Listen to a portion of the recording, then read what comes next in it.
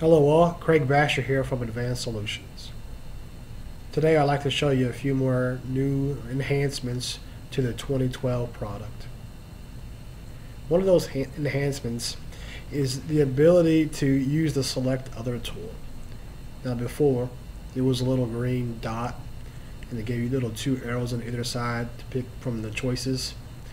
Now you can just highlight which object that you want which makes it so much easier to use and now you know for sure which objects that you're making. Another nice new enhancement is the sectioning tool. When I pick on a particular face and now I can dynamically drag which uh, how I want that uh, section to look. I can even use that section in a drawing view as well. Now another nice little tool that I talked about last post was the marking menu. You know when I right click I get that marking menu. Okay. Now you can actually change this look and feel.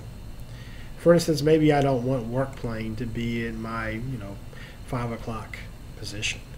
Well, to do that, all I have to do is go to the customization area and pick on that particular command. And then I would find the command that I want to replace it with, such as move component. Now if I right click, I have that new command there. Some part enhancements are the sketch, excuse me, are the sweep and the rib tool.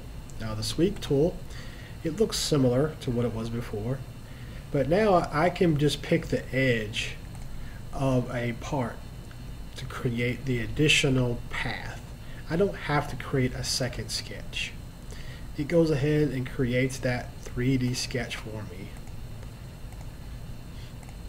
Also, the rib command looks completely different.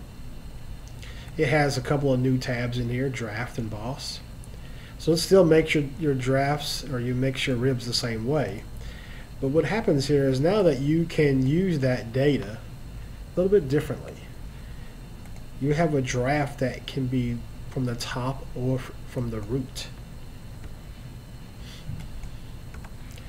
You also can add a boss there, so a little round node. You know, for that to work, you actually have to have a little center mark for that to work.